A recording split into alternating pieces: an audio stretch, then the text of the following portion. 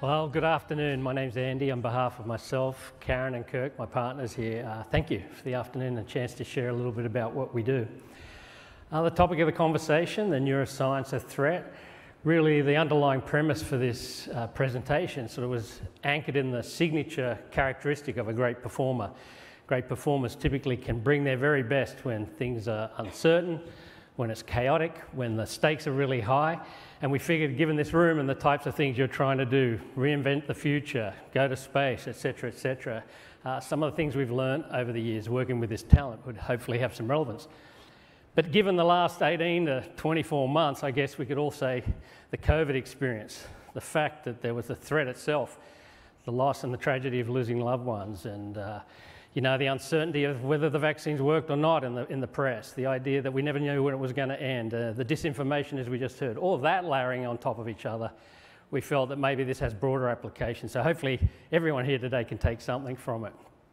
Um, a little bit about uh, our group, our community, just to give you some context. The Liminal Collective is sort of a global aggregation of people who are just passionate around human performance, who work with the best in the world, who train the best in the world.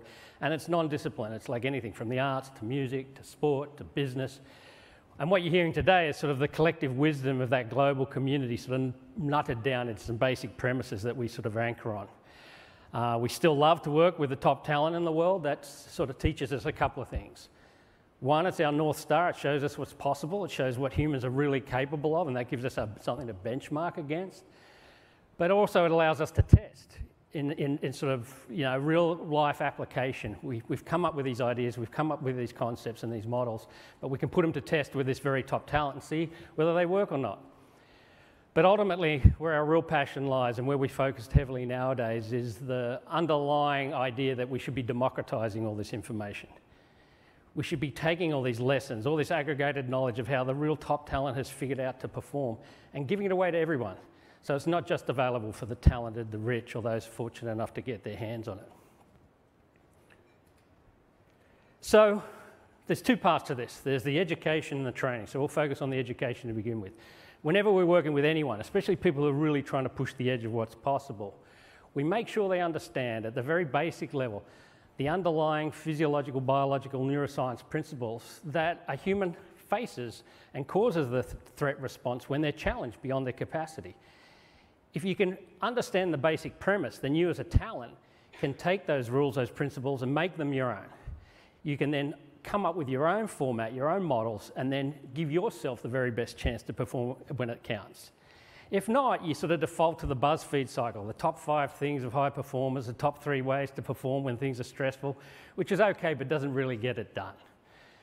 So we could talk about this to death today, but what we thought we'd like to try and do for you is actually give you a practical demonstration. And yes, that is a training evolution we use, and uh, we couldn't get a bear in here today, so we had to settle for something else. But um, I have two volunteers, Adam and Roni. How are you? Good. How are you feeling? Okay. Okay, so we know exactly how they're feeling because I think we can get up on screen. Uh, yeah, look at that. So we didn't know who was going to volunteer today, so we called them a couple of generic. We've got Thor and Wonder Woman. And what you can see up there is their heart rate tacking away. So, a fundamental premise of what we're going to talk about today is how the body responds when it's challenged or threatened. So, let's just start with removing a little bit of uncertainty. If you guys wouldn't mind just putting on your uh, uh, mask there. So, now they can't see anything. And humans, in the absence of information, will typically fill in the blanks with worst case scenario. So we'll see how this goes. We're going to let them sit there for a minute and think about what could be happening in the few, next few minutes and see how they go. Um, this is what we do for a living, so yeah, we're, we're professionals up here. Um, before we go any further and before we laugh too hard about what's about to happen, um, the mechanism we're dealing with is an ancient one. It's a primal threat response. It's been with us since the dawn of time. Humans, whenever they're challenged, whenever they're threatened, will adopt to this specific model that you're going to see here demonstrated today. And what that means is that everybody is very specific and it's specific to you and the situation you're in. So when we're talking about the training, the adaptations, and everything else, remember it's making it your own that really counts if you want to learn how to perform in this space. But to do it much more justice, I'm going to hand over to Karen here to present, and she can give you a little bit of her background and what she's going to talk about. Thank you. Hi, thanks, Andy. Hi, I'm Karen. I'm a physiologist in the Department of Warfighter Performance at the Naval Health Research Center in San Diego. For the last 10 years, the thrust of my research is really focused on the stress and impact of stress in physical, tactical, environmental, and mental spaces, and the accumulation of this stress load on our most elite military or special operations and their ability to perform in unconventional, undefined, and very kinetic war spaces. So as you can imagine, for them, performance can mean the difference between life or death. But independent on how you define performance, so for a business executive, it might be the acquisition of a company. For an athlete, it might be a national championship. Or for our military, it might be a hostage rescue.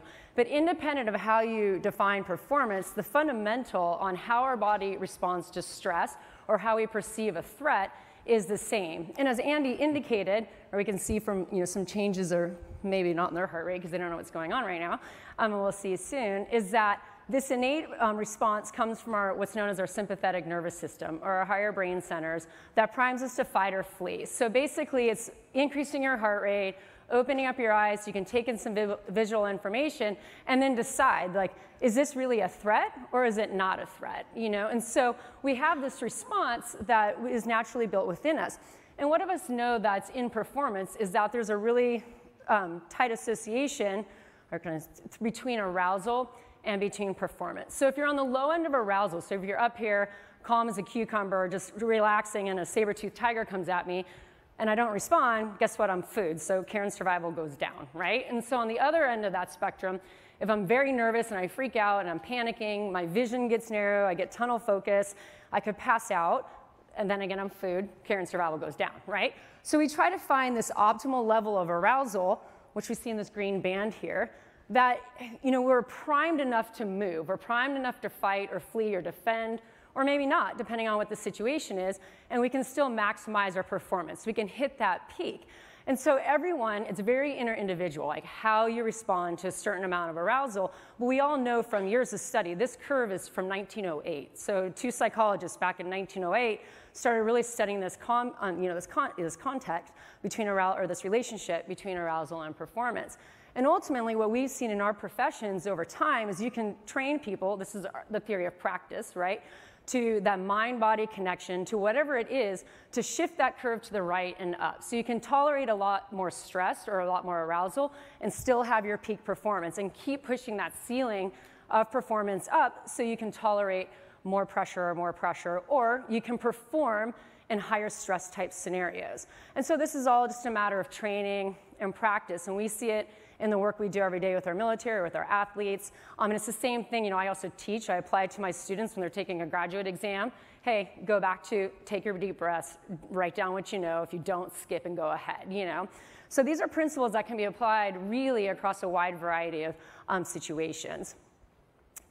And so with that, we're going to continue on with our demonstration so we can see this live. Okay, we can see what's going to happen to their heart rate and to this, this fight or flight response as we, we get our, our volunteers up here, up and moving with our demonstration. so right now they're normal. Okay? Right now heart rates are normal. Uh, Everything's okay. And this is not, to, you know, aside from the fun we're about to have, the idea of getting yourself in that scenario, feeling what it's like, knowing that tightening your chest and getting used and practicing and training with it is kind of the business we're in to help people then, when they really are challenged, learn how to adapt with it. So, running in, Adam, will you mind taking off those goggles for us and just, okay, great. Okay, then quietly, will you just get up behind these boxes here? You can jump on this one there and then watch yourself go between the chairs here. We'll see if this experiment actually works. Yeah.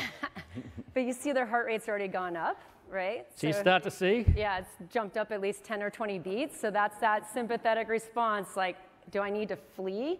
Do I need to fight? What do I need to do right now? So before we do anything, we could ask you maybe to try and oh, belt out a few bars of the national anthem. How would that? Yeah, any chance? No. No, no, no chance. Okay, okay. so all right, we'll go back. All right.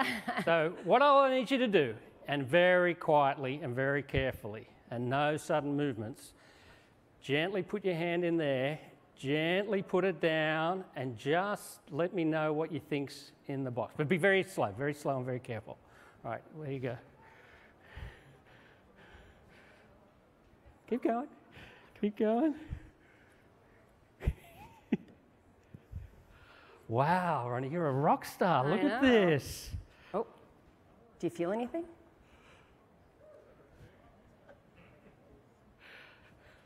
What's in there, Adam? I don't think it's a puppy. It's not a puppy. I think it's a uh, snake. It's, a snake. It's a snake. Yeah. Yeah, take your hand out. Well done, everyone. Round of applause. Oh, What's in man. there?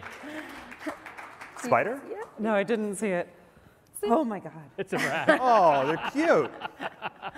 I, I just felt the, the tail. I thought it was a spider. I was like, that's worse. kind of yeah, that is is a lot worse. It's a snake. What kind? So, um, I well, do thanks everyone. You guys can go backstage now. Thanks, Adam and Ronnie. Appreciate it. Thank you. You go. That's all right. Thank you. Little demonstration there. They're a little brief, so I think we got a rise. But that's fundamentally the principle we're talking about. The idea of preparing someone to perform when it really counts, you have to put them in scenarios that get that rise, that get them on that edge, just to that point where they're not freaking out, but where they can manage it. So we'll move from the sort of that understanding, that education, and the more you do it, the better you get at it, to the idea of how do we actually train. And there's a lot of techniques similar to the one you just saw. But many years ago, when working in the big wave community, we were asked to help this particular group of athletes survive in this sort of and perform really well in this sort of scenario. And obviously, the tactical side of this practice is to learn how to hold your breath for a long period of time in case the wave crashes on top of you. So, what we did at that moment in time is we connected up with the freediving community. And through their techniques they had developed over many, many years to learn how to regulate yourself, to down regulate yourself, to prepare yourself to manage that exquisite process that they have to undergo when they're diving down to the depths they do. We recognized that we not only had a tool that taught you how to hold your breath for a long time, but we had a tool that really was first class and probably best, ca- best case scenario for us in terms of regulating yourself in any high stakes environment. So, subsequent to the, what we call the Big Wave Surf Survival Program being developed, we came up with a, a modified version of that, and every talent that we've since worked with goes through it. Artists, DJs, CEOs, programmers, coders, hackers, esports, athletes, no matter who you are, the fundamental techniques of down regulating through control of breath that you can apply in the freediving environment has staggering opportunity for everybody. And those lucky few who've already signed up, and the rest who may sign up after this. That's the session we're going to do tomorrow morning. But to really unpack it for you, we're going to turn it over to Kirk here, whose uh, experience speaks for himself. Thanks, Andy. Um, my name's Kirk Krack, so I'm an ocean explorer and an educator. Uh, I work in a lot of extreme environments. That would be caves, in wrecks, under ice, uh, scuba dives into the 600 foot range where it's six and a half, seven hours of decompression to get out of it on a vertical wall in the Cayman Islands. And over the last 20 years, what I've really specialized in is the sport of freediving. And in that time, on one breath of air, I've been able to achieve 115 meters or 375 feet of, of depth. And freediving is really, it's basic snorkeling. It's a simple breath from the surface using simple equipment, mask fin, snorkel, wetsuit, weight belt, maybe a freedive computer.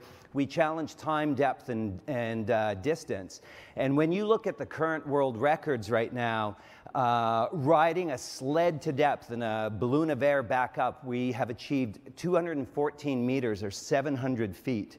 So next time you're downtown, count a 70-story building to get an idea of that, uh, that depth and that distance. Static apnea, simply holding our breath for time at the surface on air, not using oxygen. We've done 11 minutes and 35 seconds. And horizontal distance in a pool, an Olympic 50-meter pool, uh, six lengths or 300 meters. So what the human physiology is capable of is really quite astounding. And through my worldwide uh, educational system, I work with a lot of people that are really doing this for sightseeing, they're doing it for harvesting, they're doing it for competitive freediving, or they're individuals who work in a high risk environment where uh, controlling breathing, controlling your, your stress response, and being functional uh, while you're in a breath hold situation is, uh, is important. So, in my time, I've been able to work with seven athletes, train them to 23 world records. I've worked with nine special operations groups from three different countries, and then Red Bull athletes from Ian Walsh um, surfing a 100 foot wave right down to e gamers. And so it's, it's quite amazing because really what I'm trying to teach and impart to them is the idea of bumping up and controlling what are, going, what are our primal fears. And our primal fears, as we've discussed, but really what we're looking at is the fear of falling, the fear of being eaten, and in this case, in my sport, the fear of suffocation. And when we let those primal fears take control of us and we don't control them, that's where we risk um, the fight, flight, or freeze reflex. And that's not an option when you're a special operations member in the, in the dead of night with the enemy above you, or you're about to surf that 100 foot big wave off of Jaws, or you're going to be a freediver going to hundreds or 100 meters of depth. Because when you get down there and you grab your tag, you still have to get to the surface, even though you've achieved your depth. So, how do we do this? How do we manage to challenge these extreme environments. And we do it by keeping our fecal matter consolidated, if you can figure that one out. So, how do we keep it consolidated? Well, from a freediving point of view, I go down with one lungful of a finite amount of oxygen molecules. And so it's really about the conservation of the engine that I'm using. And so I'm trying to induce mammalian diving reflexes. And those diving reflexes are adaptations to an extreme environment. And when you look at the example of riding a sled down to 700 feet, that's 22 times atmospheric pressure you're experiencing right now, which means your lung volume wants to be compressed to 122nd the size right? That's the increase of carbon dioxide that would make the average person gasping for air minutes ago or the average person blacking out from lack of oxygen. These are extreme environments that, uh, that we work within. So, how we moderate our demand for that oxygen is through these diving reflexes. And one of them is called bradycardia, it's a, it's a slowing of the heart. The heart is a cardiac muscle. With each beat it takes, it's consuming oxygen.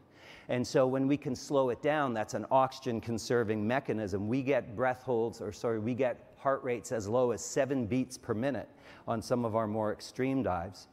We'll shunt blood from our peripheries. I don't need oxygen right here. I need it heart, lungs, brain. So we'll constrict our blood vessels in the extremities and move it to the core. Or I'll shunt the spleen and push more oxygenated blood, red blood cells into the circulatory system, like really it's a form of doping. So, breathing and breath control is the foundation for all of that in how we control our physiology as a freediver, how we remain focused, how we m- remain on task and control stress. Breathing and breath control.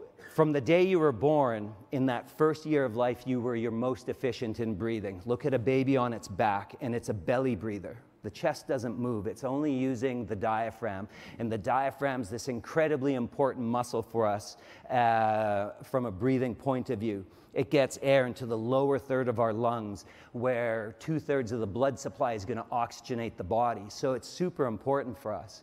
And by the time you're 18 years old, your lung volume is set where it's at. You're going to make small changes to the flexibility of the cage or the rate at which you can move oxygen across the blood barrier membrane. Um, but really, by the time you're 18, it's set. So, the greatest gifts you can give your kids, besides love, education, a language, music, is going to be cardio, right? By the time they're 18. So, breathing and breath control is about exerting control over your sympathetic and your parasympathetic system. Your sympathetic system is trying to jack everything up, and your parasympathetic system is trying to slow it all down. And when we don't control those things, that's where fight, flight, and freeze reflex takes over. And as a freediver at maximum depths, the difference in a little bit of a heart rate increase is the difference in more oxygen consumption and being successful or unsuccessful. And how we apply that to our day to day living is really important as well because there's that point on Friday when you're leaving work and the boss says, I need to see you in my office Monday morning. So, how, how do you keep that all together? How do we manage the daily uh, stresses in life, paying the mortgage and putting the kids through school and all of those things? And we can use breathing and breath control for that because it helps us focus. And at the purest form, we can induce states of flow. And a state of flow is the peak at which you perform, be it intellectual, spiritual, uh, whatever it is you're doing. It's your peak of work performance. And we know that breathing, and we know ritualization helps all that. So tomorrow we're going to have a lucky group of people who are going to join us in the uh, uh, in the pool. We're going to start first with a little dry session showing you what breathing and breath control is, some of the basics of, uh, of how we breathe and different styles of it. And then we're going to move that into the pool where we get to apply it to something where we start our breath holds with a finite amount of oxygen and work towards times with it and be able to experience something that's pretty radical, be able to achieve something you haven't uh, maybe thought was possible yet there you are trying it and, and uh, achieving some pretty amazing times. So if you haven't signed up yet, we still might have a few spots. You can uh, meet us after. We'll uh, get you registered, get you in wetsuits. We'll answer any questions that uh, you might have. The future of breathing and breath control just isn't about the air we take in right now. That as I'm speaking, the Liminal Collective, we are working towards advancing the integration of physiology and science together and technology. And that is going to be through the future of exploring inner space to its maximum and outer space. And that's going to be through something we're uh, forwarding and advancing, and that's of liquid breathing. The idea of putting liquid into your lungs for all those inner and outer space advantages. And hopefully, we'll see you here at some point talking with Code again from that point of view. Thank you for your time. Thank you. Thank you. And I'll just, I'll just wrap it up with whether your proverbial threat is a snake, a rat, a grizzly, or it's the boardroom, it's that deadline, it's the making sure you're spending time with your family, whatever that is, these techniques we've developed, as you start to think about and learn, they apply across the board. And so for those lucky few tomorrow, like I said, we'll show you the basic techniques. It won't be anything crazy, but hopefully some of these ideas give you a sense of how to navigate these stressful times in your life. So thank you, everybody. Thank you very much.